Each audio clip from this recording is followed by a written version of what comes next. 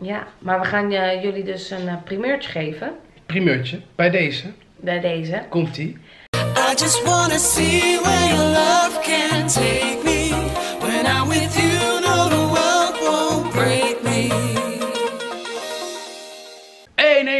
hele goede morgen, lieve pataties. Mijn naam is Sergio. Welkom bij een nieuwe video. Ik heb hier een harde schijf en die heb ik niet meer nodig, dus die ga ik eh, kapot maken. Ehm, en dat is eh, het eh, verstandigste om te doen met een ja, schroevendraaier en een hamer of zo. En er dan dwars doorheen, dus dat gaan we even doen. En ja, ik zie er inderdaad weer uit als eh 12 jaar. Kijk, ik heb, ik heb hier wel krijpootjes en zo, hè, dus ik vind gewoon dat ik er gewoon weer jeugdig uitzie, maar geen 12 meer. Toch? Ik kan wel sigaret halen zonder uh, legitimatie, maar ik hou geen sigaret. Dus dat is een eh, zinloze uitspraak. Hier moet ik ook opletten, dat vind ik fucking irritant. En ehm, ik moet zo beginnen met werken, dus we gaan eh, eventjes deze snel onklaarmaken. En daarvoor gaan we eventjes naar beneden. Ik zei schroevendraaier, maar een bijtel is natuurlijk veel beter. Dus ik heb een bijtel en een hamer. Ehm, ik ga jullie even neerzetten.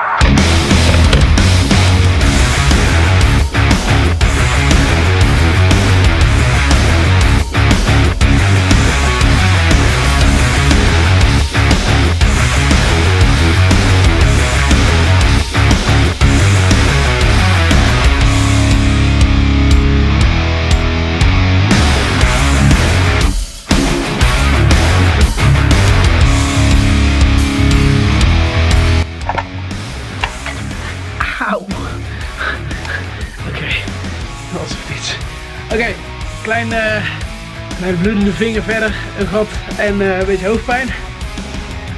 Is de harde schijf onklaargemaakt. Ging nog niet zo makkelijk als dat ik dacht. Jongen, jongen, jongen. Maar het is gelukt. Sergio oud. Goedenavond. Goedenavond! Ik heb een heel leuk pakketje ontvangen. En hij is ook nog eens aangetekend aan Jesse Silver. Hoe leuk. Hij is wel een beetje doorgelekt, want ik moest ermee door de regen. Wauw. Ja, je mag bijna kijken. Het is namelijk een walk with me. En dat is een superleuk concept, leek mij. Want eh, deze kleine hummel, die eh, begint al een beetje te willen lopen. Bijna.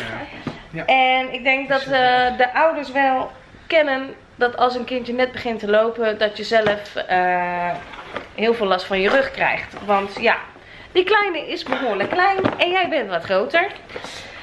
Dus daar is wat voor verzonnen namelijk. The Walk With Me. En hij is binnen en we gaan eens even kijken of hij het wat vindt. Oké, hij vindt het sowieso wat. Ja.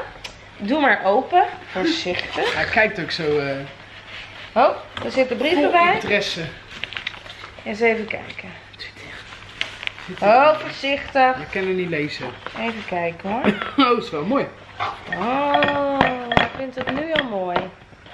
Maar er staat wel, het is geen speelgoed. Dus Oh. voorzichtig ermee.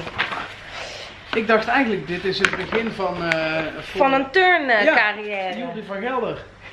Ga maar hangen. hey, hoe is dat dan, schat? Dat is leuk. Oké, we gaan hem eens proberen. Wat gaan we even kijken. vast en wat houdt hij vast? Hij houdt de ringen vast en wij houden de, het houten ding vast. Oké. En de bedoeling is dat we hem eerst op de grond laten zitten. Ja.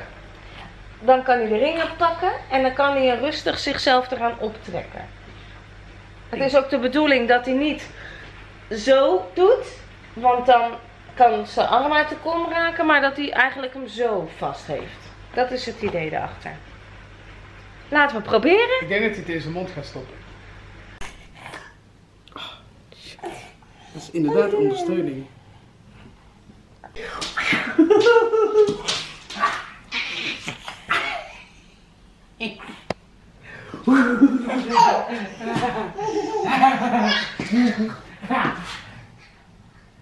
lopen.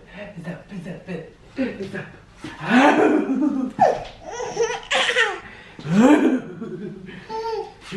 Gekke papi.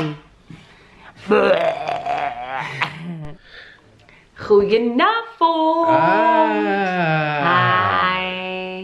Ik wil heel energiek zijn, maar ik ben echt op. Oh, Mijn batterij is leeg. nou dan gaan zo nog even lekker douchen. Daar ben ik wel aan toe inderdaad. Onwijs vet. Het wordt voor mij tijd dat ik weer een keer naar de kapper kan. Daar wordt het tijd voor. Ja. Kijk dan. Kappertje. Helemaal dood, uitgroei. Niet best jongens.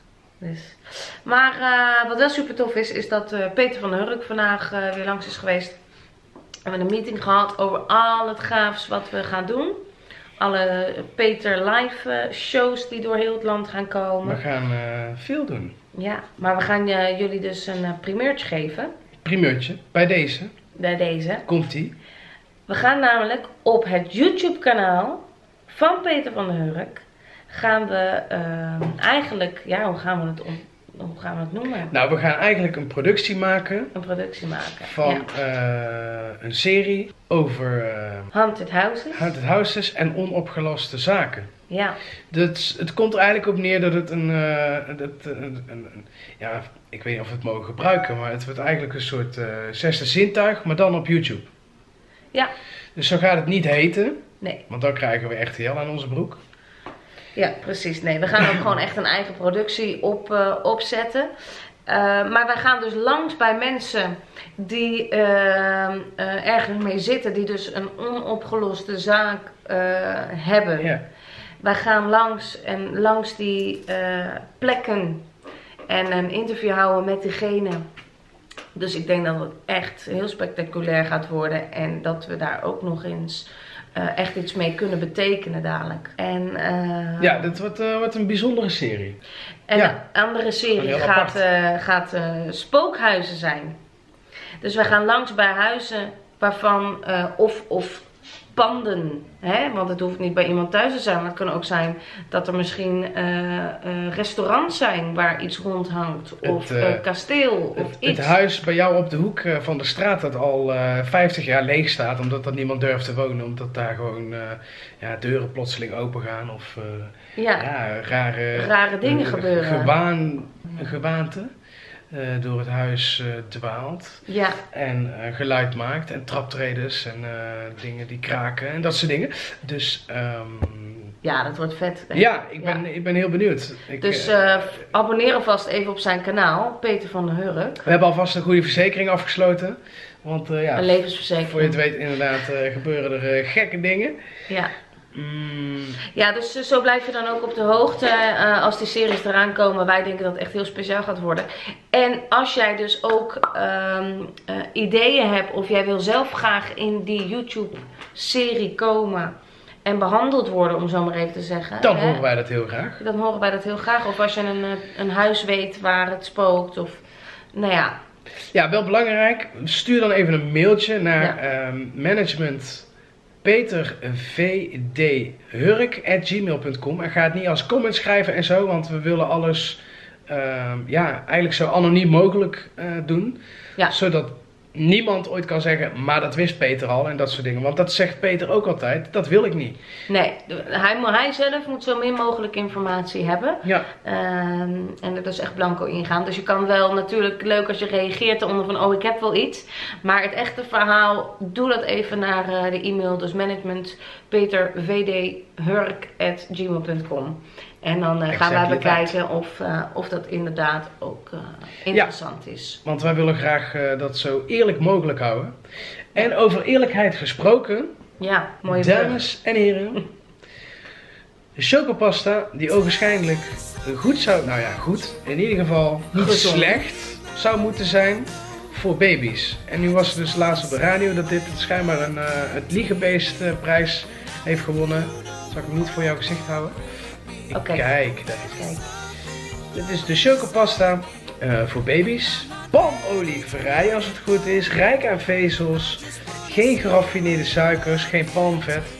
En voor misschien ouders wel bekend uit de kleine keuken. Ja, vanaf acht maanden.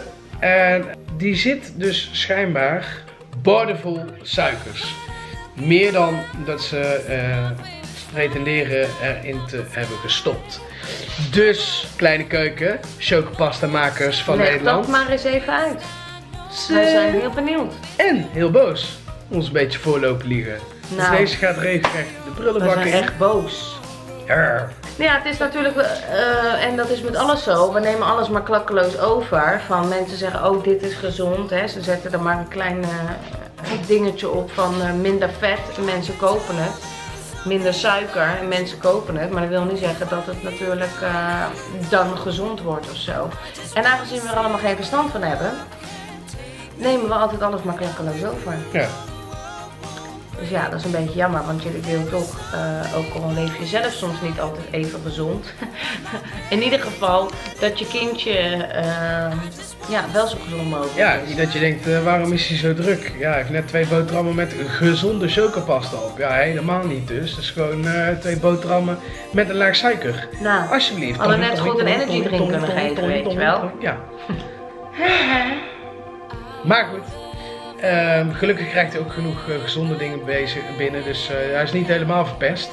En eh, ja, dit, eh, dit eh, kopen we. maar dit vonden we even een leuk item om even onder de aandacht te brengen. Ja, Hebben jullie nog van zulke dingetjes waarvan jullie het weten? Laat het even weten in de comments. Ja. Hebben jullie nog, nog grote liegebeest acties van, eh, van het afgelopen jaar? Dan eh, Ja, horen wij dat ook graag. precies. Dan voor nu gaan we afsluiten, dames en heren. We wensen jullie weer een hele fijne avond, fijn weekend. Voor je topvlog, doe even een duimpje omhoog. Vergeet niet te Eventjes abonneren. Belletje aan te doen. belletje aanzetten, Kijk ook even nog zodat je alles eh, van weer meekrijgt dus als we weer iets uploaden. Nou, Superleuk. vergeet Peter van de Hurk niet. Zeker Slaap lekker. Tot volgend Dus, jaar. Nee, volgende week. ciao. Arrivederci. I just wanna see where your love can take